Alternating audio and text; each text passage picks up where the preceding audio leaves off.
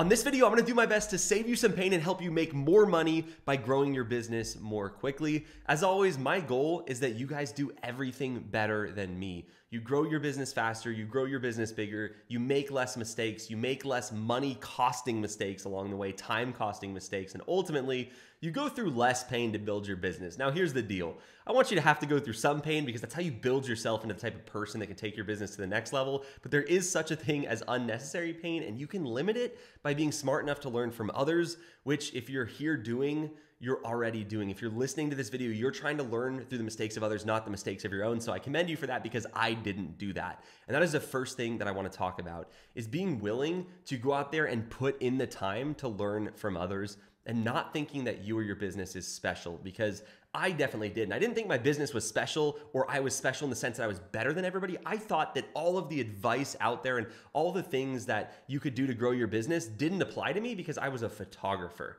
and I had a photography business. And in my mind, there was two types of businesses. There was photography businesses and real businesses. And it's super silly looking back, but like, and I didn't necessarily say it to myself like that. I just immediately discounted advice that I'd hear from others. And more importantly, I didn't go seek it out because I didn't think it would apply to my business. And that caused a lot of problems in my business because I wasn't able to learn from others. And the only people I was able to learn from were people who had built photography businesses and most of the time not very successfully. So I was trying to take business advice from people who were great artists, which I was not but didn't have great businesses, which is what I actually wanted. So the biggest mistake that belief that I held caused me to make is a lot of lost upside potential and a lot of time chasing better quality photos, chasing a better, longer, more complicated, better workflow that didn't actually help me or didn't serve my clients or they didn't even like. I'd make mistakes, for example, like I would want to spend more time on site to get better quality photos, but what I didn't know is that my clients wanted faster. They wanted me out of there, in and out. And so a faster workflow is that what they valued. And so if you're starting a business, if it's a real estate photography business, if it's a, a business making custom tables, whatever the business is, I would encourage you to not think of your business as somehow in a, its own category, in a different category of business, but think about it more like it's a business because that's what it is. And the same things that people have already gone through and the same feelings you, they had about their business being special are the feelings you have now. And so your willingness to learn from them will help you a lot. And that is mistake number one. The second mistake I made was I relied too heavily on referrals and I didn't do a lot of active marketing. And here's the sad thing about this my business was growing quickly with referrals, but I didn't know how much faster it could be growing if I paired referrals with an active source of leads. So, we talk a lot about the Instagram method on my channel. When I first started my business, I did not use the Instagram method. Number one, in the way we do now, because it's been through a lot of refinement. But number two, I didn't nearly put as much effort into it as I should. It was a few minutes a day type thing versus our coaching clients, the ones that grow quickly, that's their number one priority. They're dumping all of their extra time into that because that's how you grow a business quickly. It took me a long time to get my business to first 4K month. In fact, well over a year of doing it part time before I could make the jump to full time and do a 4K month. Whereas some of our students have done that in their second, third months, and even in their first month in some cases. Is the first month typical? No, but months three, four, and five, that's more reasonable to expect to get there if you do the things required. And I didn't have that belief, and I didn't know it was possible because I thought I just had to wait on referrals. Now, here's the thing with referrals you need referrals in your business. You know, the thing that took my business from 4K a month to 20K a month to 50K a month and so on was a ton of people referring me. But referrals are more of a second stage of growth. You need to get some active leads going before the referrals will kick in. And I like to think about this like a snowball rolling down the hill. So you have to put in, like, you have to make that snowball initially, right? And you have to like pack it together.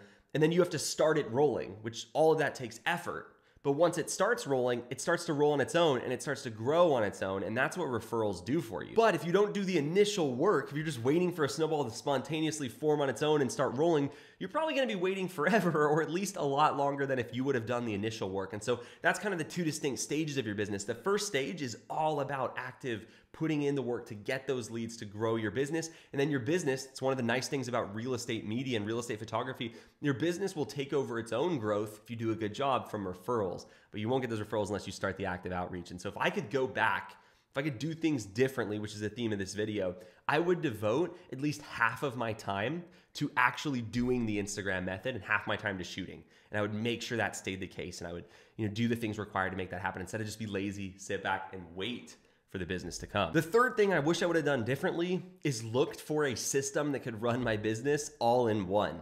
And so, what a lot of people do when they start their business, which part of this is normal, but they'll find some way to invoice and they have that. And then they'll find a way to have a calendar and they'll find a way to deliver the photos. And it, it ends up being like these one little patch at a time where you have like 10 softwares you're working with and that's really complicated and that's what i did i had a software that was good at scheduling and i have a software that was good at this and what i didn't know because i didn't take the time to research it again i was so focused on making the mistakes as i kind of talked about in the first thing i wish i would have done differently that i didn't go look for other solutions that people had already discovered and so what i didn't know is that there was a bunch of great softwares built for real estate media companies that do all of that in one we use currently a company called spiro their website is spiro.media and it's an awesome solution and we're actually a part of their team now which is super cool, but it does everything. Delivery of photos, invoicing, scheduling, and all of these other metrics and reporting all in one. And so we were able to just get rid of a bunch of softwares as we moved to the first system we use. So find a system for your business. If you're not in real estate media, I promise you there is a solution for you. If you have a lawn care business, there's a lawn care software. If you have a business making whatever, whatever widget you make, there's a software that's going to be tailored and it's going to combine a lot of those. Doesn't mean you're not going to have to use one or two additional softwares to run your business, but it means you're to limit the number of softwares you have. And they call that your tech stack. The simpler tech stack you can have, the less softwares, the better. The fourth thing I wish I would have done differently is let people into my process sooner and trusted them more quickly. As my business grew to four and then 10K a month and 15K a month, I 20K a month, I started bringing more people into the company, but I would not trust them to do the things that would actually clear up time on my plate because I thought that I was special and I didn't mean that in an arrogant way. It was just, man, I've been doing this for so long. How could they possibly do it as good as me? And that is a limiting belief that every single business owner has when they first start their business. And it takes a couple things to make it happen where you don't believe that anymore.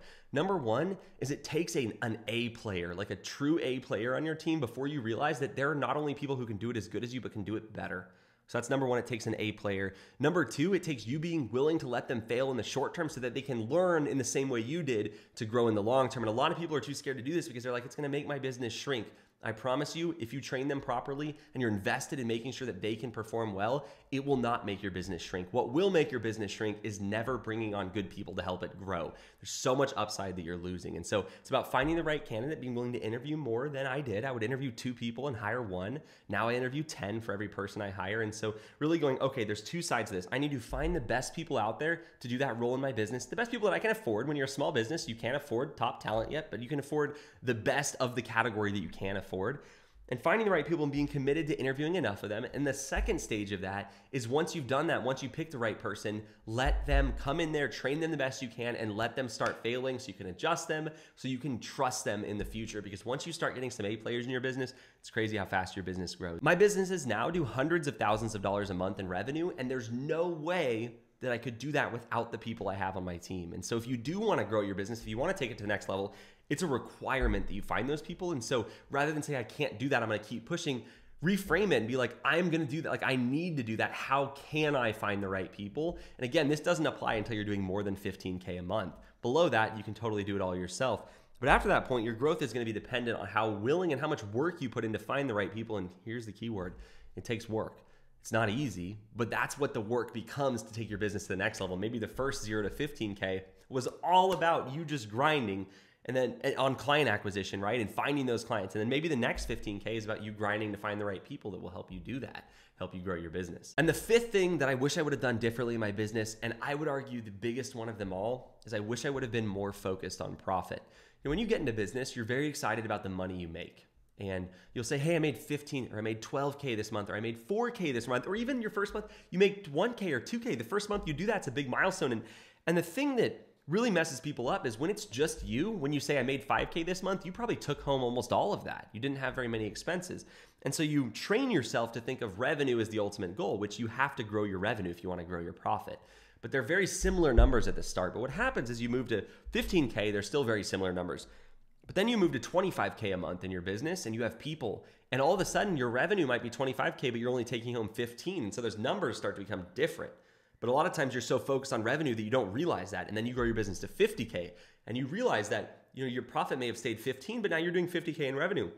So what happens is people get so fixated because initially they're the same on that revenue goal that they forget about profit and profit in their business becomes an accident. And in my opinion now, profit is the sign of a healthy business. Revenue is great, but if you make 50k a month and you spend 49,999, you made a dollar. And that's not enough to grow your business. That's not enough to have the margin to hire people. And so what happens is because you're focused on revenue, that's what you go for.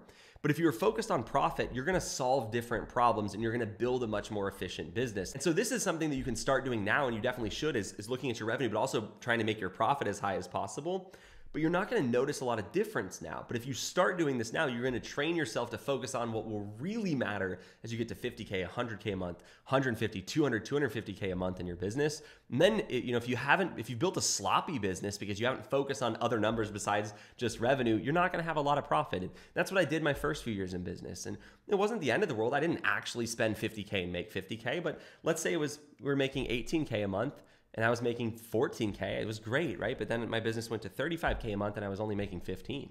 Then my business went to 50K a month and I was only making 17. It's like my, my profit was going up and it, 17K a month take home income is awesome, right? That's great, but it could be better if you, and it could make your business healthier and able to grow faster if you focus on maximizing that number. Now, I don't mean being stingy here. I just mean like building an efficient business, not having softwares that renew that you don't use or not worrying about cost or not trying to get costs down in areas and not trying to be smarter. Growth is great. I'm a growth person. It's impossible to make 50K a month take home if you make only 30K a month in revenue, but the opposite is true. A lot of people build these, you know, 50K a month businesses and they only make 10. Don't do that. You have so much more potential, and it shows you're being kind of a lazy operator. And the thing that's also true is when people are lazy operators in their business, they just focus on one number. Their and, and so their business finances are kind of a mess. Usually, their personal finances follow. And I know that's kind of like a boring thing to talk about, and it's not fun for people, but it's really true. And so you got to focus on what matters in your business. And when you do that, you're also going to focus on what matters in your personal life. And then all of the work that you've put in to build a business is actually going to pay off, right? Because most people get into business for one of two things, and usually a combination of both to make more money and to have more time. You ask a lot of business owners, they don't have a lot more time. They usually have a lot less time, right? So they didn't achieve number one. And number two, they often don't make more money unless they do it properly. And so if you think about that, it's like taking a step back and going, why did I start this business and reorienting on that? Because my goal for you is to build a business that allows you to have those two things. More times you can do what you want. Maybe that's spending more time in your business. Maybe it's not. Maybe it's doing both. And also more money. I want you to be able to build wealth with your business because that's probably the reason you started. And so that's why I'm always on people about make sure you're getting something out of your business. You know, there's this thing that's kind of permeated in entrepreneurship of like all these Silicon Valley companies that lose money forever and then they they sell and all the founders are rich and that's a very different type of business than a service business. You don't run a service business unprofitable until it gets big. That's just not how it works. That works in venture funded and these big software companies that require scale, but that mentality really doesn't do well for service business owners. And service businesses are great if you use them well because service businesses they're not really fail or succeed they're just to what extent do you succeed? And what extent you succeed is honestly based upon the work you put in. Whereas software is like boom or bust. And so don't use something that works in one business model in your business. Make profit and you should make profit from month one. And that's the awesome thing about a service business is you don't have to invest a lot to get it started. So all that being said those are the five mistakes that i wish I wouldn't have made. If you want us to help you not make those mistakes and the whole boatload of others that you will probably make, we'd love to work with you in coaching if you're going to start a real estate media company or you want to grow your real estate media company to the next level. We don't help anybody else. We only help people with real estate media. But if that's your goal, we'd love to work with you and we're the right people for the job. So apply, talk with my team more about what that would look like, and I'll see you on the next video.